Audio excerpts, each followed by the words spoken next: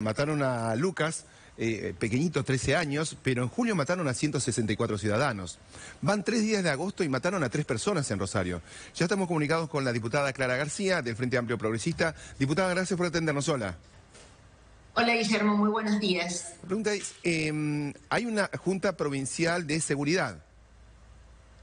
La hay, pero el gobernador no la convoca. Miren, había sido un ámbito de trabajo tan eficiente, porque en una misma mesa estaba la justicia, el gobierno provincial, la política a través de los legisladores, eh, el NPA, aquel que, eh, bueno, tiene a su cargo acusar en los fiscales la defensa. Digo, una mesa donde realmente se planificaba y se trabajaba en serio.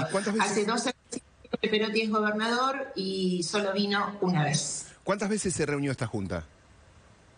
Dos veces, pero como digo, la segunda sin su presencia. Y es indispensable porque, Guillermo, el gobierno queda atrás cuando la propia delincuencia es la que te gana en complejidad, en inversiones, en tecnología, si no hay una inteligencia una investigación hacia el delito complejo muy sólida.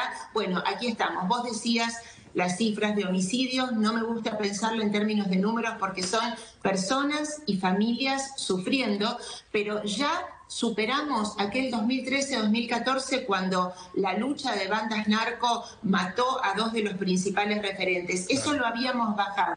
Fíjate que al día de hoy, 2022, principios de agosto, ya superamos todos los homicidios del 2019. Eh, Esa curva explotó. ¿Se siente respaldado por el Gobierno Nacional, por el Ministerio de Seguridad? El Gobierno Nacional está casi ausente. Miren, nos ha prometido fiscalías federales, juzgados federales, gendarmes, policía federal la verdad que está absolutamente ausente. Yo te doy un dato.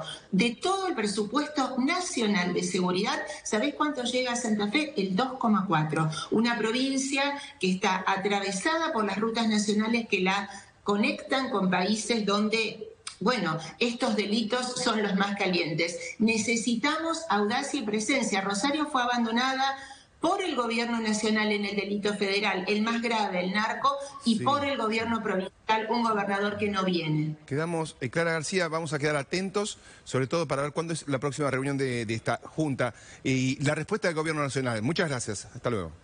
Gracias a ustedes, gracias.